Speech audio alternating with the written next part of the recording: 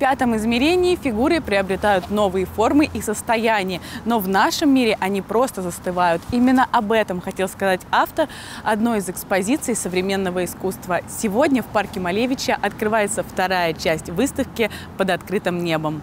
Стабильная композиция, человек бегущий, куб космоса и другие арт-объекты. В этот раз в парке расположились еще пять новых работ авторов-современников.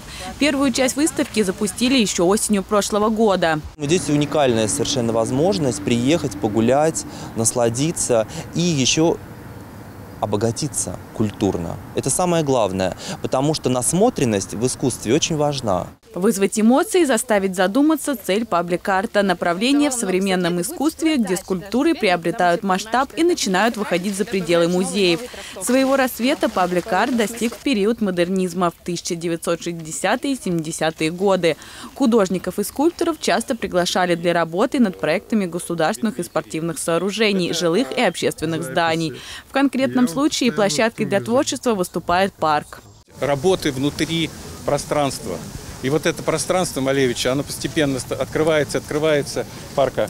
И в нем удивительные есть э, какие-то э, параллели, там рифмы возникают от деревьев, дорожек, э, леса.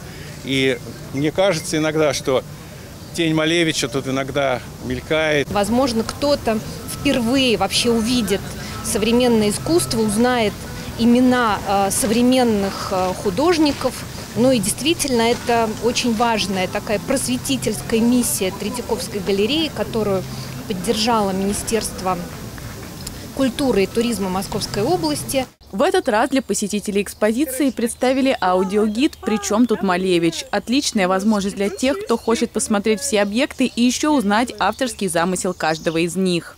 Этот проект демонстрирует, насколько современное искусство вписывается в современное парковое пространство. И наша задача ловить эти тонкие моменты, которые мы уже поймали на этапе, на первом этапе нашей выставки. Проект раскрывает связь творчества современных художников с идеями русского авангарда, а также знакомит зрителя с Казимиром Малевичем.